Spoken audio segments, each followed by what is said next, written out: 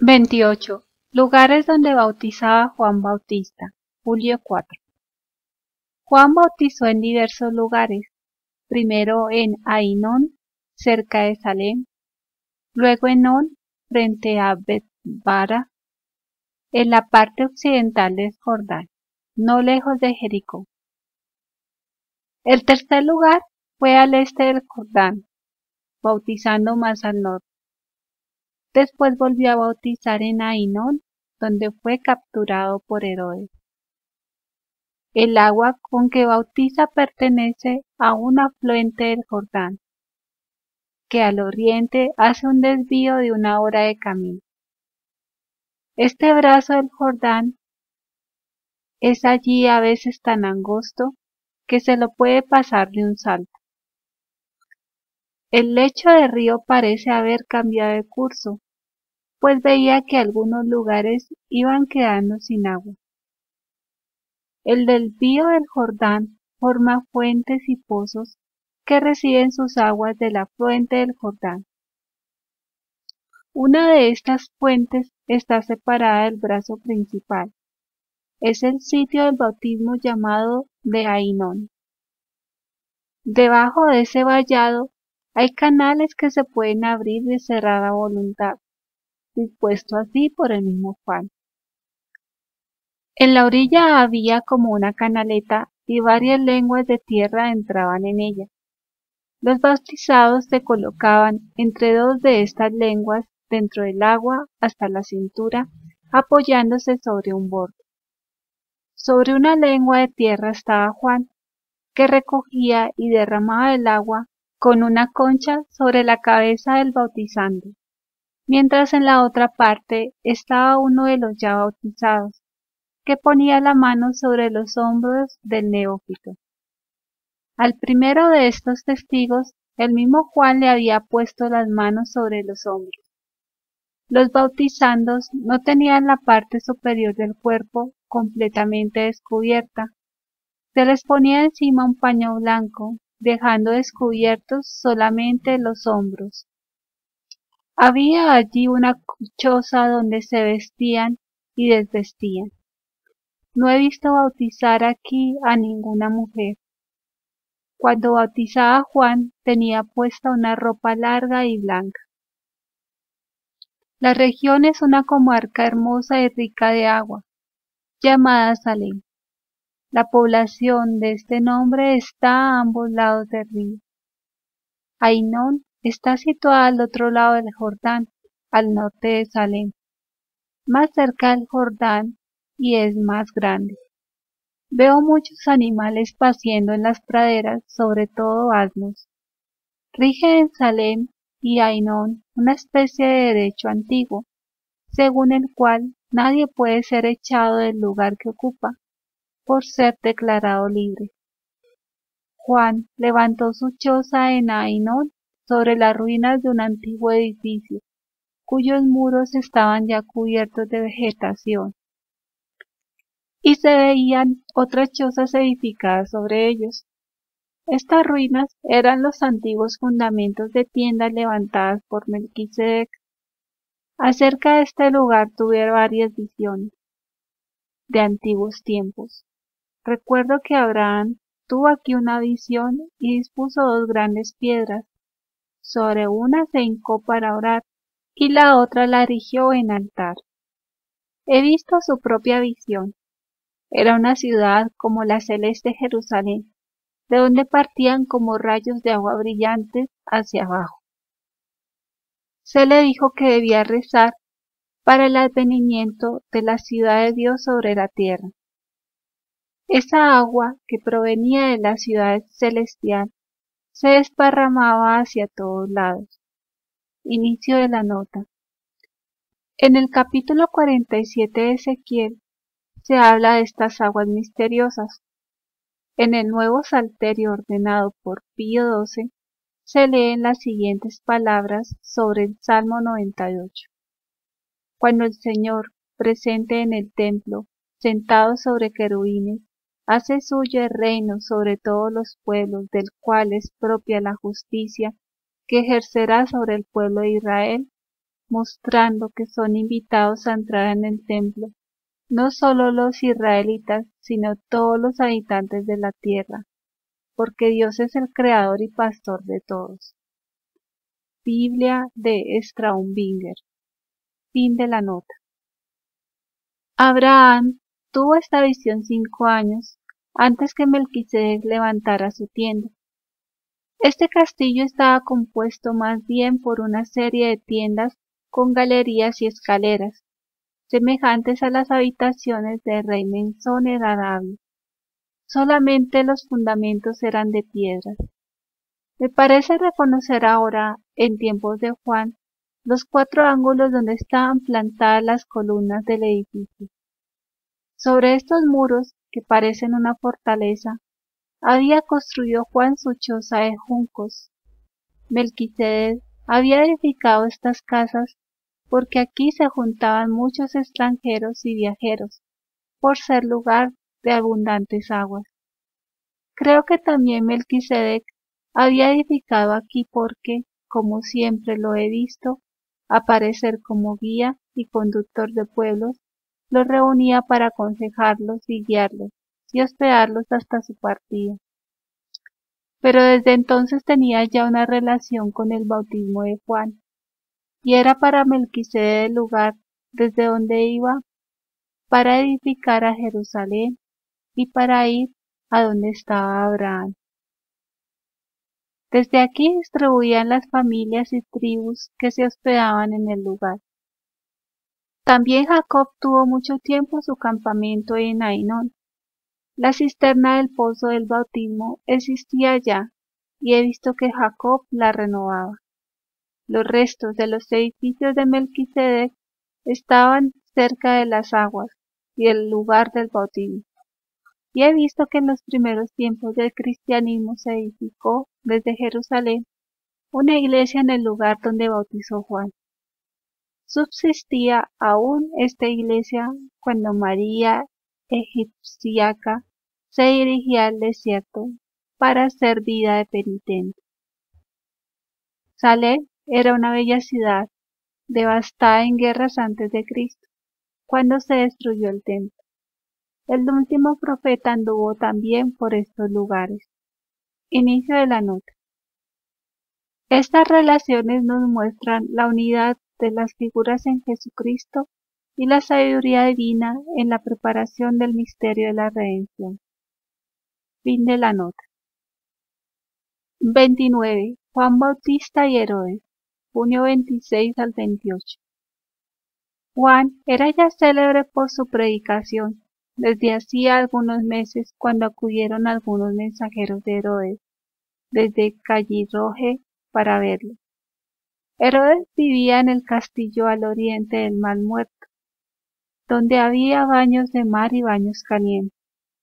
Herodes deseaba que Juan fuese a donde estaba él, pero Juan contestó a los mensajeros que tenía mucho que hacer, que si Herodes deseaba verlo y hablarle, podía allegarse a él. Después de esto vi a Herodes viajando sobre un carruaje, más bien bajo, de ruedas, pero sobre un trono alto, desde el cual podía ver a su alrededor. Este asiento tenía un techo y en torno del carro había soldados que custodiaban al rey. Iba a un pueblo como a cinco horas de viaje al sur de Ainón y mandó a decir a Juan que podía llegarse hasta ese lugar. Juan accedió y fuera de la ciudad en una choza esperó a Herodes, quien concurrió sin acompañamiento.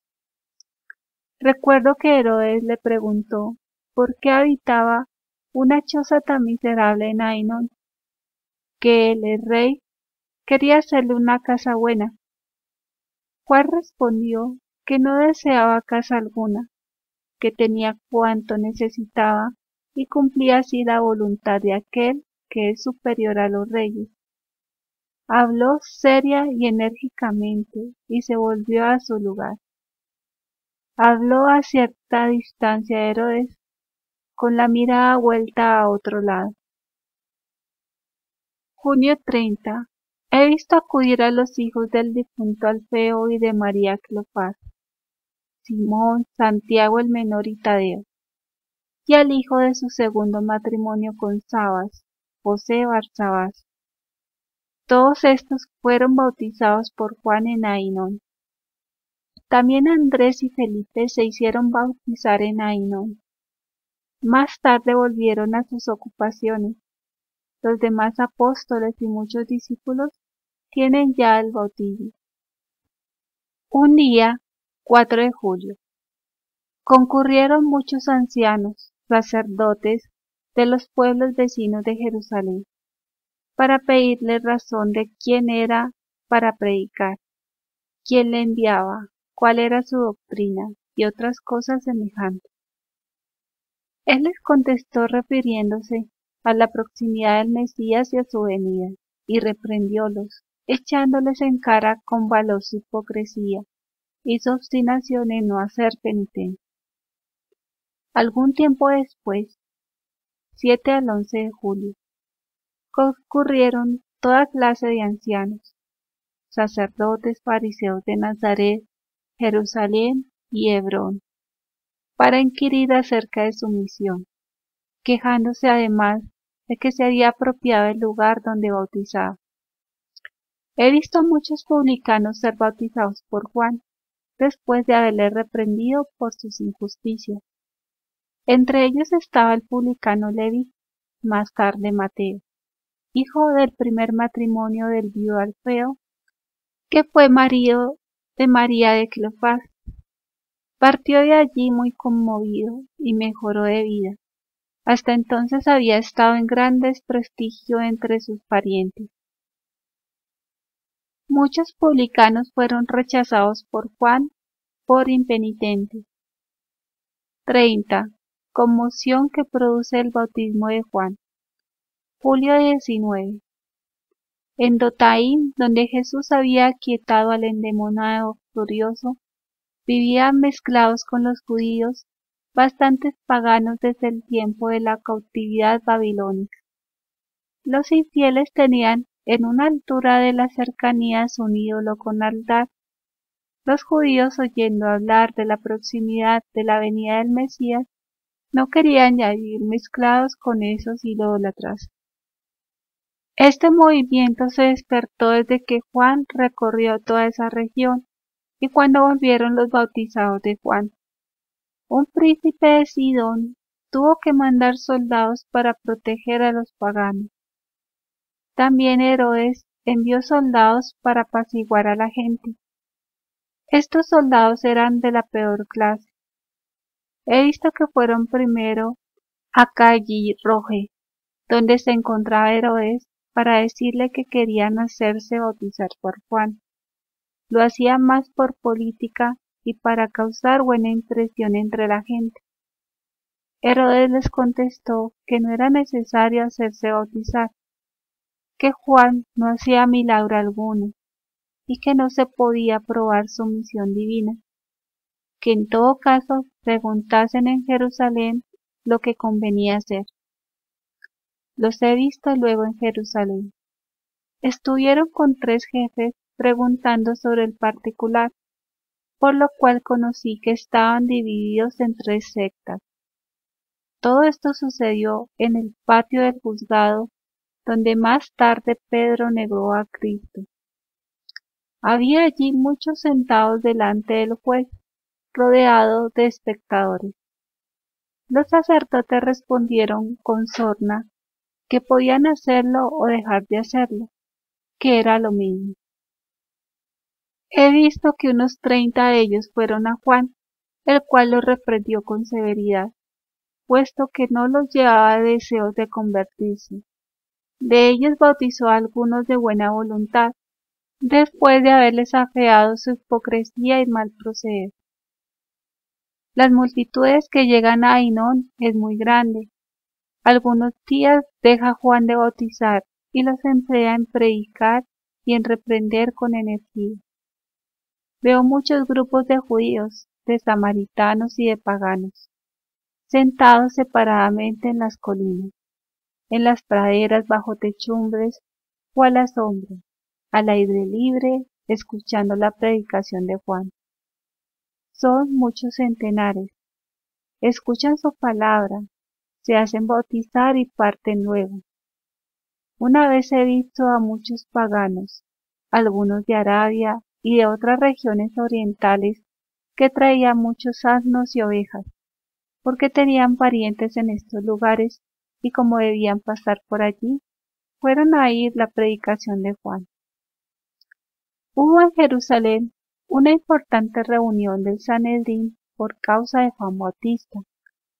Fueron enviados nueve hombres, tres por cada una de las tres autoridades, para que fueran a interrogar a Juan. Anás envió a José de Arimatea, al mayor de los hijos de Simeón, y a otro sacerdote que velaba por los sacrificios y las ofrendas. Por el consejo fueron enviados tres mensajeros, y otros tres civiles iban en representación del pueblo. Debían preguntar a Juan quién era y decirle que se presentara en Jerusalén. Si su misión era verdadera, debía presentarse antes en el templo. Le hacían cuestión respecto a su manera de vestir, ¿Y por qué bautizaba también a los judíos cuando sólo se acostumbraba a hacerlo con los paganos? No faltaba quien creía que Juan era Elías vuelto al mundo. Ve ahora a Andrés y a Juan el evangelista con Juan.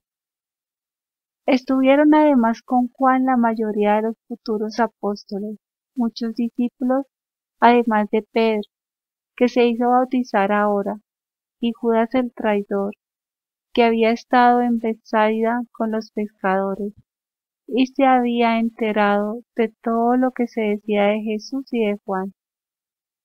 Cuando los enviados de Sanedrín llegaron, hacía ya tres días que Juan no bautizaba, y empezaba de nuevo a hacerlo. Los enviados querían que los oyera enseguida. Él les dijo que los escucharía cuando hubiese terminado su labor y con palabras cortas y severas los dejó esperando. Le reprocharon de que si hubiese tomado él mismo la autoridad, que debía presentarse en Jerusalén y que no debía vestirse tan selváticamente. Cuando se alejaron estos mensajeros, permanecieron aún José de Arimatea y el hijo de Simeón y recibieron el bautismo de manos de Juan. Había muchas personas a las cuales Juan no quería bautizarlas. Estas se unieron a los mensajeros del Sanedrín, acusando a Juan de parcialidad y animosidad contra ellos. Los futuros apóstoles vuelven ahora a sus casas, hablan de Juan y ponen atención en Jesús, de quien han oído hablar por Juan, el precursor. José de Arimatea, al volver a Jerusalén, encontró a Obed, pariente de Serafia, que era servidor del templo. Contó José a Obed muchas cosas de Juan, y Obed fue también a bautizarse como servidor del templo, fue de los discípulos secretos de Jesús y más tarde se declaró cristiano. 31. Juan recibe aviso de retirarse a Jericó. He visto más tarde que Juan pasó para bautizar a algunos enfermos. Llevaba su paño de vestido y su manto pendiente de los hombros. De un lado tenía el recipiente con agua bautismal y del otro colgaba la concha que usaba para bautizar. Habían traído a muchos enfermos sobre camillas portátiles y sobre carretillas de mano, disponiéndoles a lo largo de la orilla al otro lado del Jordán donde Juan bautizaba. Como no podían ser llevados a la orilla opuesta, rogaron a Juan fuera donde se encontraban. Juan fue con algunos discípulos. Había preparado allí una hermosa fuente cercada por un vallado hecho por él mismo. Llevaba consigo una pala. Dejó entrar agua por un canal que hizo y la mezcló con la que traía en su recipiente catequizó a los enfermos y los bautizó, después de ordenar que los dispusiesen a la orilla de la fuente, mientras él pasaba derramando el agua sobre ellos. Después de haberlos bautizado volvió a pasar al otro lado del Jordán a Ainón. Aquí he visto presentársele un ángel y decirle que volviera al otro lado del Jordán hacia Jericó, pues se acercaba aquel que debía venir, a quien debía anunciar. Juan y sus discípulos levantaron sus tiendas, caminaron unas horas por la parte oriental del Jordán hacia arriba y pasaron a la otra orilla por donde hicieron un trecho.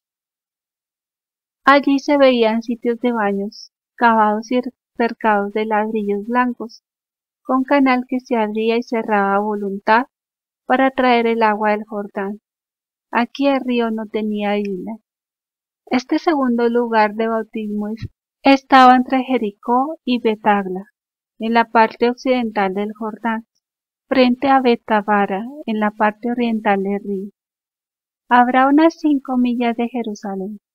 El camino recto va por Betania, a través del desierto, hasta llegar a un albergue, un poco fuera del camino, a menos lugar entre Jericó y Betagla. Las aguas del Jordán son aquí muy claras, sosegadas. Percibes el aroma delicioso de las plantas aromáticas y de las flores cuyos pétalos caen en el agua. En algunos puntos del río es tan angosto y poco profundo que se puede ver el fondo. En las orillas se ven grietas cavadas por el agua con el viento. Me alegró mucho cuando me encuentro en la Tierra Santa, pero me extrañan las mudanzas del tiempo comparado con el de nosotros. Cuando aquí es invierno, allá florece todo, y cuando aquí es verano, ya están allá brotando las plantas para la segunda cosecha. Viene luego un tiempo en que hay mucha neblina y llueve mucho. Junto a Juan veo unas cien personas, entre ellas sus discípulos y muchos paganos. Trabajan en mejorar el bautisterio y en arreglar la choza. Traen desde no cosas, los enfermos son transportados en angarillas. Este es el lugar del Jordán donde Elías hirió con su manto las aguas para pasar al otro lado y donde hizo lo mismo Eliseo cuando volvió a pasar. Eliseo descansó aquí de su viaje. Por aquí pasaron también los hijos de Israel al entrar de Tierra Santa. De Jerusalén fueron enviados de nuevo a Juan gente del templo, fariseos y saduceos un ángel se lo anunció al Bautista. Cuando llegaron cerca del Jordán, mandaron un mensajero a Juan para decirle que se aproximara. Sin abandonar su obra contestó que si querían hablar con él podían hacerlo allegándose donde él bautizaba. Acercáronse, pero Juan no dejó de proseguir su predicación y su bautismo en presencia de los enviados. Cuando terminó Juan su trabajo, atendió a los mensajeros y mandó a sus discípulos que los cobijaran bajo una techumbre, llegándose a ellos acompañado por diversos oyentes. Los mensajeros preguntaron quién era aquel del cual decía siempre que había de venir, que según las profecías era el Mesías y que se decía había llegado ya. Juan le respondió que uno habíase levantado contra ellos, a quien no conocían. Añadió que él tampoco le había visto, pero que desde antes de haber nacido le había ordenado preparar su camino y que había de bautizarle. Les dijo que volviesen en cierto tiempo en que debía venir él para ser bautizado. Les habló luego severamente diciéndoles que no habían venido para el bautismo, sino para espiarlo. Les respondieron que ahora sabía quién era él, que bautizaba sin misión recibida, que era un hipócrita al vestirse tan extrañamente, y se volvieron a Jerusalén. Poco tiempo después llegaron otros mensajeros del Sanedrín de Jerusalén, en número de unos veinte, sacerdotes procedentes de varias ciudades con sus mitras, anchas fajas y largas cintas que colgaban de los brazos. Le combinaron diciendo que venían del gran Sanedrín, que se presentara delante de él para dar cuenta de su misión y de su conducta, que era una señal de que no tenía misión al no obedecer al Sanedrín. Oí entonces a Juan que les dijo que esperasen un poco, que vendría aquel que le habían enviado, señalando claramente a Jesús, que era nacido en Belén, educado en Nazaret, que había tenido que huir a Egipto y él no le había visto aún. Le echaron en cara que él estaba entendido con Jesús, que se enviaban recíprocamente mensajeros. Juan le respondió que los mensajeros que se enviaban no podía él mostrárselos, porque eran ciegos. Los mensajeros se fueron disgustados y contrariados. Acuden de todas partes turbas de judíos y paganos. El mismo Herodes manda gente a oír su predicación con encargo de que le cuenten lo que han oído de él. Veo que está mejor ordenado el lugar del bautismo. Juan levantó con sus discípulos una gran techumbre, donde son agasajados los enfermos y los fatigados por el viaje, y donde se reúnen para oír su predicación. A veces cantan salmos, así por ejemplo, hoy el salmo que habla del pasaje del Mar Rojo por los hijos de Israel. Por momentos parece que hubiera improvisado una pequeña población de tiendas y de chozas, estas casitas están cubiertas con pieles y juncos que crecen a orillas del río. Se nota mucha afluencia de viajeros provenientes de las regiones de los Reyes Magos. Vienen en camellos, en asnos y en caballos hermosos y muy ágiles. Están en camino a Egipto. Ahora se reunieron todos en torno de Juan. Oyen su predicación sobre el Mesías y reciben el bautismo. De aquí suelen ir en grupos hasta Belén. No lejos de la gruta del pesebre, frente al campo de los pastores, había un pozo, donde Abraham había vivido con Sara, y estando enfermo deseó vivamente beber agua, habiéndosele traído en un recipiente agua del pozo. No quiso luego beberla, dejándola por Dios, y al punto en recompensa lo libró Dios de su mar. A causa de su gran profundidad, era muy difícil sacar agua del pozo.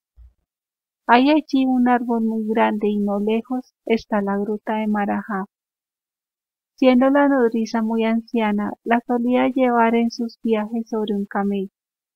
Por estos hechos se ha convertido este en un lugar de peregrinación para los piadosos israelitas, como lo son el monte Carmelo y el monte Oreb. En este lugar rezaron también los santos reyes magos. De Galilea no habían venido muchos a ver a Juan, aparte de los que fueron sus discípulos. Más gente llegaba a Hebrón, entre ellos muchos gentiles. Por eso mientras Jesús pasaba por Galilea, exhortaba a los habitantes a ir al bautismo de Juan. 32. Herodes en el baptisterio. Una fiesta tradicional. Agosto 28 al 30.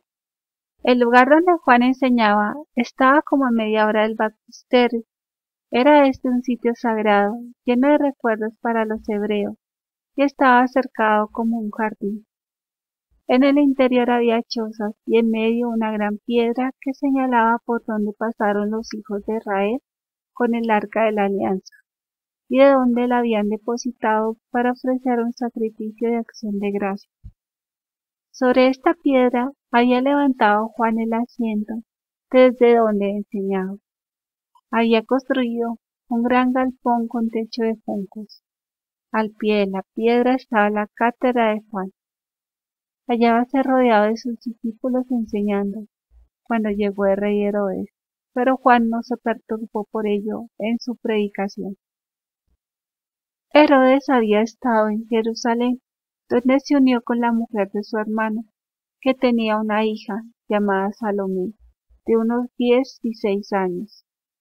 Tenía intención de unirse con esta mujer y había en vano tratado de conseguir el beneplácito del Sanedrín.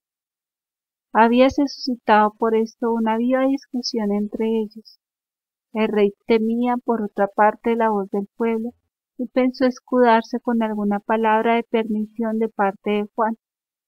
Pensaba que el Bautista, para congraciarse con el rey, diría algo de conformidad con su plan. Veo ahora a Herodes con la joven Salomé, hija de Herodías, y sus camareras, en compañía de unas treinta personas de viaje hacia el Jordán.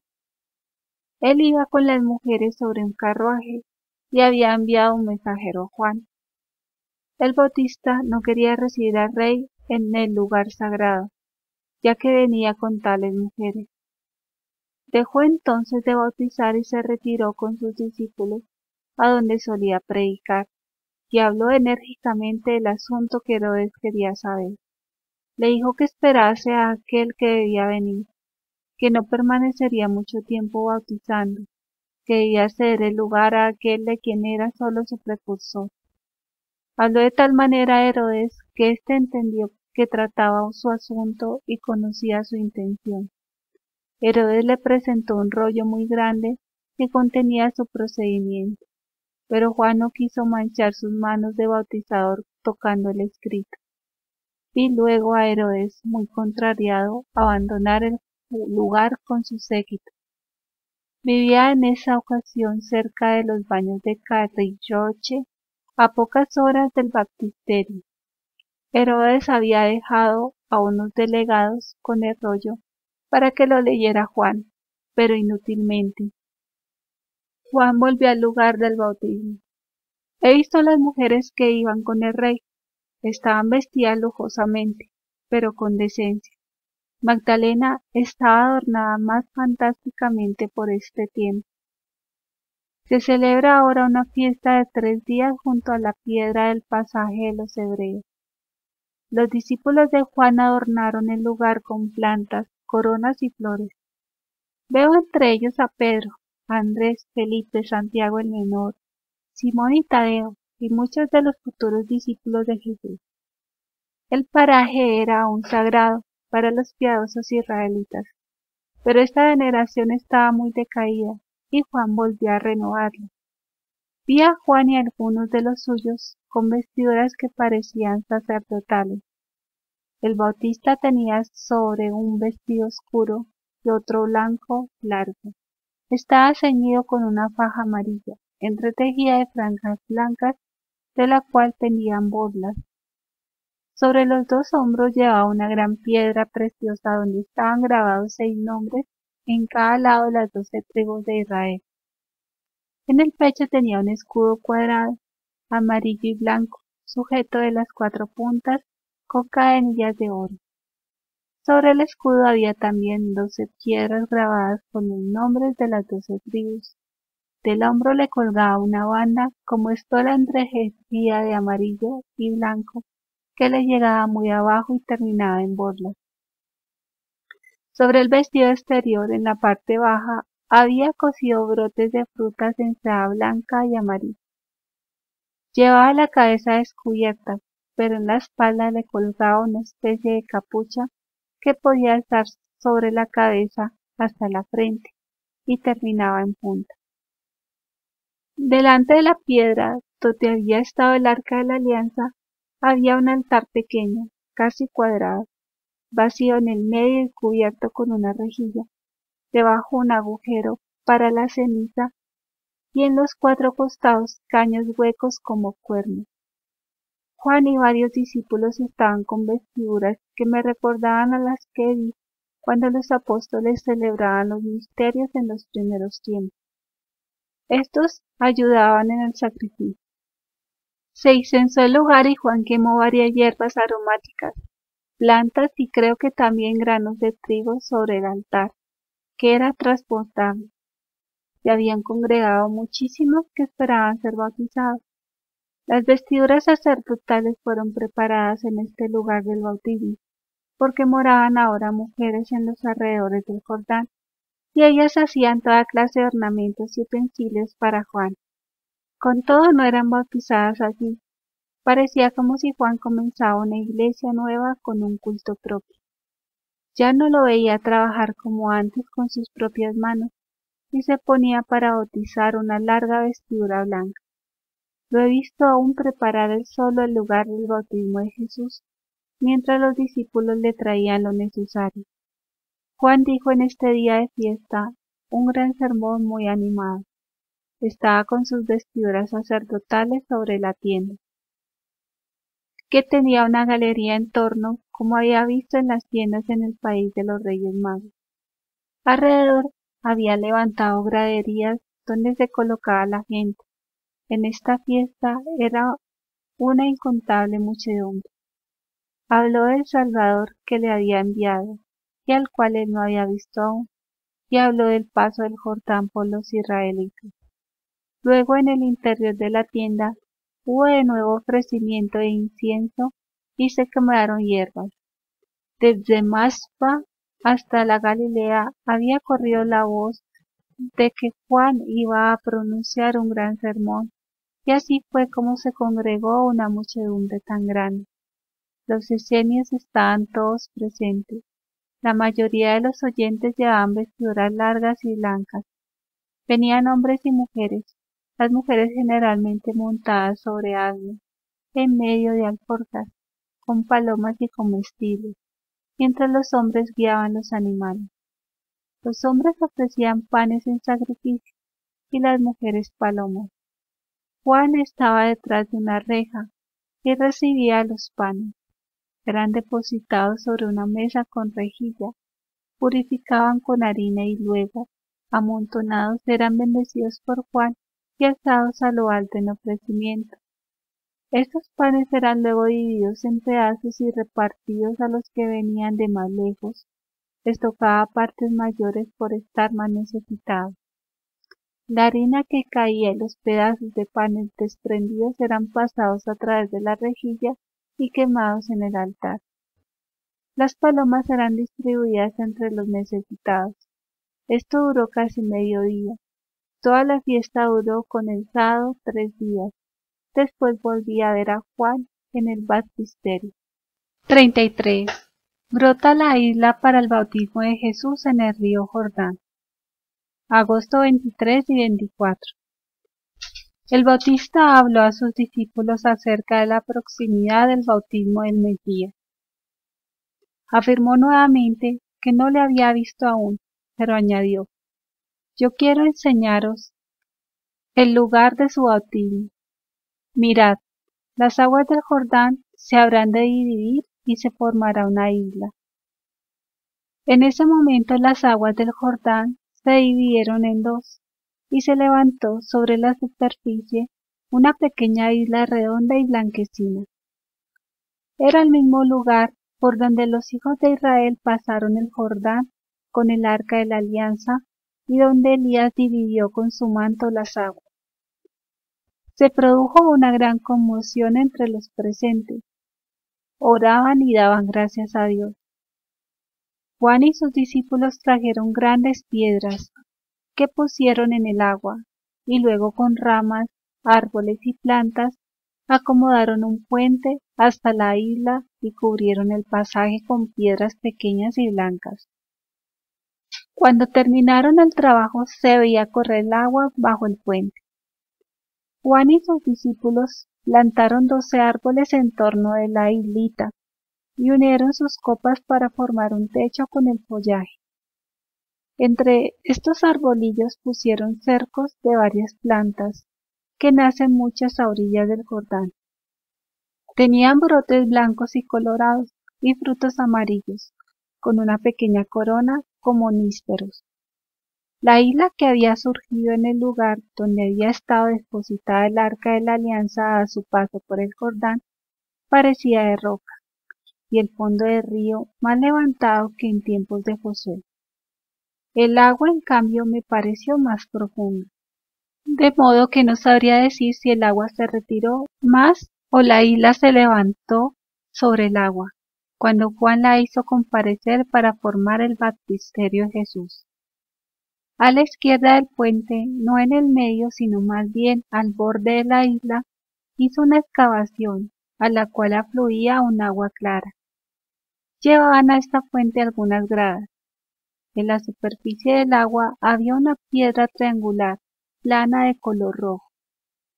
donde debía estar Jesús durante su bautismo. A la derecha se levantaba una esbelta palmera con frutos, la cual habría de abrazar Jesús. El borde de esta fuente estaba delicadamente trabajado y todo el conjunto presentaba un hermoso aspecto. Cuando Josué llevó a los israelitas a través del Jordán, he visto que el río estaba muy crecido. El arca de la alianza fue llevada bastante distante del pueblo hacia el Jordán. Entre los doce que la conducían y acompañaban figuraban Josué, Caleb y otro personaje, cuyo nombre suena como Enoí. Llegados al Jordán, tomó uno solo la parte delantera del arca, que solían llevar dos.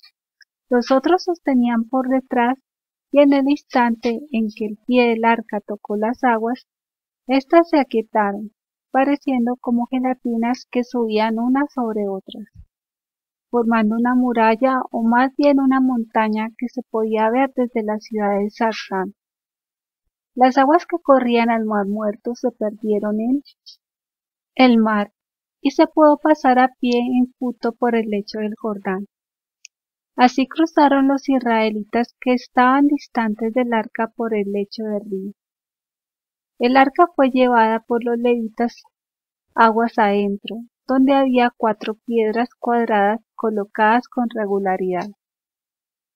Eran estas piedras de color de sangre y a cada lado había dos hileras de seis piedras triangulares, planas y trabajadas. Los dos levitas dejaron el arca de la alianza sobre las cuatro piedras del medio y pasaron doce por cada lado sobre las otras piedras triangulares que tenían su cono hundido en las aguas. Otras doce piedras triangulares fueron colocadas a distancia. Eran muy gruesas, de colores diversos, grabadas como figuras y dibujos con flores. Josué eligió a doce hombres de las doce tribus para que llevaran sobre sus espaldas desnudas estas piedras, y a distancia una serie de dos hileras para recuerdo del pasaje. Más tarde se levantó allí una población. Fueron grabadas en las piedras los nombres de las doce tribus y los de los que llevaron las piedras. Las piedras sobre las cuales estuvieron los levitas eran más grandes, cuando pasaron el río las piedras fueron vueltas con las puntas hacia arriba. Las piedras que habían estado fuera del agua no eran ya visibles en tiempos de Juan Bautista. No sé si fueron destruidas por las guerras o estaban simplemente cubiertas por tierra y escombros. Juan había levantado su tienda en el lugar de ellas. Más tarde hubo una iglesia allí, creo que en tiempos de Santa Elena. El lugar donde había estado el arca de la alianza es exactamente el mismo de la isla y de la fuente donde fue bautizado Jesús. Cuando los israelitas pasaron con el arca y hubieron erigido las doce piedras, el Jordán volvió a seguir su curso como antes. El agua de la fuente del bautismo de Jesús era de tal hondura que desde la orilla solo se podía ver desde el pecho cuando estaba un hombre dentro la profundidad algo escalonada, y esta fuente octogonal, que medía como cinco pies de diámetro, estaba rodeada de un borde, cortado en cinco lugares, desde donde podían algunas personas presentar el acto. Las doce piedras triangulares sobre las cuales habían estado los levitas se alzaban a ambos lados de la fuente bautismal de Jesús con sus puntas hacia arriba fuera del agua. En la fuente del bautismo yacían aquellas cuatro piedras cuadradas coloradas, sobre las cuales había descansado el arca de la debajo de la superficie del agua. Estas piedras aparecían con sus puntas fuera del agua en épocas de bajantes. Muy cerca del borde de la fuente había una piedra triangular en forma de pirámide, con la punta hacia abajo sobre la cual estuvo Jesús cuando el Espíritu Santo vino sobre él. A su derecha estaba la palmera, junto al borde, a la cual Jesús se sujetó con la mano, mientras a su izquierda estaba el bautista. La piedra triangular donde estuvo Jesús no era de las doce. Me parece que Juan la trajo desde la orilla. Había allí un misterio porque he visto que estaba señalada con dibujos de flores y estrías. Inicio de la nota. No puede menos que reconocerse la coincidencia de estas piedras con la descripción de la iglesia en el Apocalipsis. El cordero está en medio de los cuatro animales, como aquí el arca, y como Jesús en medio de las cuatro piedras simbólicas de su bautismo. Estas cuatro piedras, cuatro animales, son los cuatro testimonios o evangelistas del cordero. Los veinticuatro ancianos están representados por las veinticuatro piedras que hizo colocar Josué, los jefes de las doce tribus de Israel y los doce apóstoles. Fin de la nota. Las otras doce piedras eran también de diversos colores, dibujadas con flores y ramificaciones. Eran más grandes que las llevadas a tierra. Me parece que eran al principio piedras preciosas que plantó Melquisedec desde pequeñas, cuando el Jordán no pasaba sobre ellos. He visto que en muchos lugares hacía esto. Ponía los fundamentos de obras que venían luego a ser lugares sagrados, o donde sucedían hechos notables, aunque por mucho tiempo quedaran en pantanos escondidas entre matorrales. Creo también que las doce piedras que llevaba Juan en la fiesta en el escudo del pecho eran trozos de aquellas doce piedras preciosas plantadas por Melquisedec. 34. Herodes nuevamente con Juan. Septiembre 3 al 17. Cuando Juan volvió al baptisterio, fue a verlo nuevamente un grupo de unas veinte personas para pedirle cuenta de su misión. Venían de Jerusalén, aguardaron en el sitio donde había tenido lugar la fiesta e invitaron a Juan, pero éste no se movió. Al día siguiente he vuelto a verlos, a media hora del lugar donde bautizaba Juan, pero Juan no los dejó entrar en el recinto de las tiendas que estaba cercado. Vi luego que Juan, cuando terminó su trabajo, les habló desde cierta distancia. Les dijo las cosas de siempre, refiriéndose a él, que pronto iba a venir el al bautismo, a aquel que era más que él, y al que no había visto aún personalmente. Algunas de sus preguntas no contestó. Más tarde he visto a Herodes montado sobre una cabalgadura, acomodado en una especie de asiento de cajón, y a la mujer de su hermano, con la cual vivía, también montada sobre una cabalgadura, orgullosa y atrevida, vestida con lujo y desvergüenza, que se aproximaban al lugar donde estaba Juan bautizando. La mujer se detuvo a cierta distancia, mientras Herodes bajó de su cabalgadura y se acercó a Juan y comenzó a hablar con él. Herodes litigaba con Juan porque éste le había excomulgado, prohibiéndole participación en el bautismo y en la salud del Mesías si no dejaba su escandalosa compañía. El rey le presentaba de nuevo aquel escrito en defensa de su proceder. Herodes le preguntó si había algo de un tal Jesús de Nazaret, de quien se hablaba mucho en el país y de quien, según había oído, recibía mensajes. Si ese Jesús era el esperado, ya que siempre hablaba de él. exigía le dijese claramente, pues quería tratar su asunto con el Mesías. Juan le contestó que Jesús no le escucharía, como no le escuchaba él su demanda, que era adúltero y como tal sería tratado, que por más que presentara su caso en una forma u otra, se trataba siempre de un adulterio. Cuando Herodes le preguntó por qué le hablaba a la distancia y no se acercaba, contestóle Juan, Tú eres ciego y por el adulterio cometido te has vuelto más ciego aún, y cuanto más me acercare a ti, más ciego te pondrías. Cuando yo esté en tu poder, harás conmigo lo que más tarde sentirás mucho haber hecho.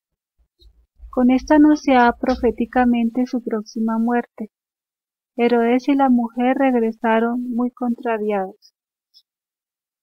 Se acerca el momento del bautismo de Jesús. Veo a Juan muy entristecido. Parecía que su tiempo iba a terminar muy pronto. Ya no lo veo tan vehemente en su obra y lo veo perseguido por todos lados. Acudían ya de Jericó, ya de Jerusalén, ya de parte de Herodes, para arrojarlo del lugar del bautismo. Sus discípulos habían ocupado una parte bastante considerable de los alrededores del bautismo, y por eso urgían a Juan que se retirase de allí y pasase al otro lado del Jordán. Los soldados de Herodes llegaron a deshacer hasta cierto punto del cercado, echando a la gente. Con todo no llegaron a molestar en la tienda de Juan entre las doce piedras. Juan habló muy contristado con el ánimo decaído, con sus discípulos. Deseaba ya que acudiese Jesús al bautismo. Luego se retiraría de su presencia al otro lado del Jordán y no permanecería mucho tiempo en su puesto. Sus discípulos se mostraban muy tristes por las cosas que les decía y no querían que los dejase abandonados. 35. Jesús es bautizado por Juan. Septiembre 19 al 26. Cuando Juan recibió aviso de que Jesús se acercaba, cobró nuevos bríos para bautizar. Acudieron grupos de aquellos a quienes Jesús había exhortado a ir al bautismo, entre ellos publicanos. Y he visto a Parmenas con sus parientes de Nazaret. Juan habló a sus discípulos sobre el Mesías y se humilló ante él de tal manera que aquellos quedaron contristados. Llegaron también a Juan aquellos discípulos a quienes Jesús había rechazado en Nazaret. He visto a estos hablando con Juan de Jesús y sus obras. Juan ardía de tal amor por Jesús que casi se manifestaba impaciente de que el Mesías no se declarase más abiertamente. Cuando Juan lo bautizó, recibió la seguridad de que se acercaba a Jesús. Vio una nube luminosa que envolvía a Jesús y a los suyos, y los vio en una visión que se acercaba. Desde entonces se muestra extraordinariamente contento y ansioso, y mira con frecuencia hacia el lado de donde vendrá. La islita con la fuente bautismal está toda verde y nadie va a ella fuera de Juan, cuando tiene algo que arreglar. El camino que lleva a ella está ordinariamente cerrado. Septiembre 28. Jesús caminaba más ligero que Lázaro y llegó dos horas antes que éste al lugar del bautismo. Era la alborada cuando llegó Jesús al mismo tiempo que otros. Estos no lo conocían y caminaban a la par de él, pero lo miraban con extrañeza porque veían en él algo admirable que no podían explicarse. Había una turba extraordinaria de gente, Juan predicaba con mayor entusiasmo de la proximidad del Mesías y de la necesidad de hacer penitencia.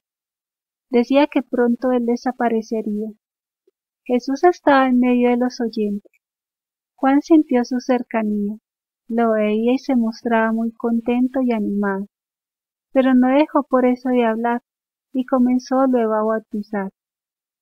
Había ya bautizado a muchos y eran como las diez de la mañana cuando le tocó el turno a Jesús, que bajó a la fuente. Entonces se inclinó Juan ante él y dijo, Yo debo ser bautizado por ti, y tú vienes a mí. Jesús le contestó, Deja ahora que se haga esto, es menester que cumplamos toda justicia, que tú me bautices y yo sea por ti bautizado. Jesús añadió, tú debes recibir el bautismo del Espíritu Santo y de la sangre. Entonces Juan le dijo que le siguiera a la islita. Jesús dijo que así lo haría, añadiendo que deseaba que las aguas con que eran bautizados los demás se dejasen afluir a aquel lugar, que todos los que debían ser luego bautizados fueran allí bautizados, y que el árbol que él iba a abrazar fuera trasplantado a donde era bautizado los demás, y que todos lo tocasen al ser bautizados. El Salvador pasó con Juan y sus discípulos Andrés y Saturnino sobre el puente de la islita. Jesús se retiró a una pequeña tienda junto a la fuente, al lado oriental, para vestirse y desvestirse. Los discípulos lo siguieron a la isla. Hasta el puente había gran multitud de gente y en la orilla del río más aún. En el puente podían permanecer hasta tres hombres, entre ellos estaba Lázaro. La fuente bautismal estaba hecha en una excavación escalonada, de forma octogonal, y tenía debajo un borde de igual forma, con cinco canales en el fondo que comunicaban con las aguas del Jordán. El agua llenaba la fuente por medio de entradas cortadas en los bordes. Tres de estas entradas eran visibles en la parte norte, por donde las aguas entraban y dos salían. Estaban cubiertas en la parte sur de la fuente. Por aquí se pasaba y por este lado no se veía el agua rodeando la fuente. Del lado sur subían unas gradas de hierbas verdes, la isla misma no era del todo plana, sino un tanto más elevada en el medio, rellenada con piedras y partes blandas, todo cubierto de verdor. Los nueve discípulos de Jesús, que en los últimos tiempos estaban con él, acercáronse a la fuente y permanecieron en el borde. Jesús dejó en la tienda su manto, su faja y su vestido de lana amarilla, abierto por delante y cerrado con cintas una banda de lana más angosta cruzada sobre el pecho, que alzaba sobre la cabeza por la noche o en la intemperie, y quedó con un vestido oscuro, con el cual salió de la tienda, para entrar en el agua, donde por la cabeza se quitó también esta prenda de vestir. Tenía dentro del agua solo una banda desde la mitad del cuerpo a los pies. Todos sus vestidos los recibió Saturnino, el cual se los pasó a Lázaro, que estaba al borde de la fuente. Jesús bajó a la fuente, donde quedó cubierto por las aguas hasta el pecho. Con la mano izquierda se asió a la palmera y puso la derecha en el pecho, mientras la faja blanca flotaba sobre las aguas. Juan estaba en la parte sur de la fuente. Tenía en la mano un recipiente de borde ancho del cual salía el agua por tres aberturas. Se inclinó, tomó agua con el recipiente y la vertió en tres líneas sobre la cabeza del Salvador. Una línea de agua cayó sobre la parte anterior de la cabeza y la cara, otra en medio de la cabeza y la tercera en la parte posterior. No recuerdo bien las palabras que dijo Juan al bautizar, pero fueron más o menos estas. Jehová, por medio de los serafines y querubines, derrame su bendición sobre ti, conciencia, inteligencia y fortaleza. No recuerdo bien si fueron estas tres últimas palabras, pero eran tres gracias o dones para el espíritu, el alma y el cuerpo. Y allí estaba contenido todo lo que cada uno necesita para presentar al Señor un espíritu, un alma y un cuerpo renovados. Mientras Jesús salía fuera del agua, los discípulos Saturnino y Andrés, que estaban a la derecha del Bautista, sobre la piedra triangular, sostenían una tela que pusieron sobre él para que se secara, y una túnica blanca y larga. Al detenerse Jesús sobre la piedra triangular roja, a la derecha de la entrada de la fuente, pusieron sus manos sobre sus hombros y Juan sobre su cabeza. Hasta entonces se ponía a los bautizados solo un paño pequeño, pero después del bautismo de Jesús se usó otro más extenso. 36. La voz del Padre después del bautismo. Cuando estaban por subir las gradas para salir de la fuente, se oyó la voz de Dios sobre Jesús, detenido solo en la piedra en oración. Llegó como una ráfaga de viento desde el cielo y un trueno de modo que todos los presentes se atemorizaron y miraron hacia arriba. Descendió una nube blanca luminosa, y yo vi una figura alada sobre Jesús, que le llenó como un torrente. He visto el cielo abierto y vi la aparición del Padre Celestial en forma y rostro común, y oí la voz que resonaba. Este es mi Hijo amado, en quien tengo mis complacencias. Era una voz como dentro del trueno. Jesús estaba completamente rodeado de luz y apenas se le podía mirar. Su rostro era transparente. He visto ángeles en torno a él. A cierta distancia sobre las aguas del Jordán, vi a Satanás, en figura oscura como nube negra, donde se agitaba una confusión de sabandijas y de reptiles de todas clases. Era la representación de cómo todo lo malo, todo lo pecaminoso, todo lo ponzoñoso de la región se concentraba allí, en su origen, huyendo de la presencia del Espíritu Santo que se había difundido en Jesús. Era algo espantoso y horrible, que contrastaba mejor con la claridad y la luz que se difundía en torno de Jesús y del lugar del bautismo. La misma fuente brillaba hasta el fondo, todo estaba como transfigurado. Se veían las cuatro piedras sobre las cuales había estado el arca de la alianza, resplandecer con brillo de regocijo en el fondo de la fuente, y en las doce piedras donde habían estado los levitas aparecieron ángeles en oración, porque el Espíritu de Dios había dado testimonio delante de todos los hombres sobre aquel que debía ser la piedra viva, la piedra preciosa elegida, la piedra angular de la iglesia. De este modo nosotros debemos, como piedras vivas, formar un edificio espiritual y un espiritual sacerdocio, para poder ofrecer a Dios sacrificios aceptables como sobre un altar por medio de su Hijo Divino, en quien solo encuentra sus complacencias. Después de esto Jesús se dirigió a la tienda. Saturnino le trajo sus vestidos, que Lázaro había tenido en custodia, y Jesús volvió a ponérselos. Ya vestido salió Jesús de la tienda y rodeado de sus discípulos se colocó en el lugar libre de la isla al lado del arbolito central. Entonces Juan habló con viveza y gran alegría al pueblo, dando testimonio de Jesús, diciendo que era el Hijo de Dios y el prometido y esperado Mesías. Para confirmar su testimonio recordó las profecías de los patriarcas y profetas y señaló su cumplimiento, diciendo lo que él había visto y lo que todos habían oído ahora, agregando que no bien Jesús volviera después de una ausencia, él, Juan, desaparecería del lugar.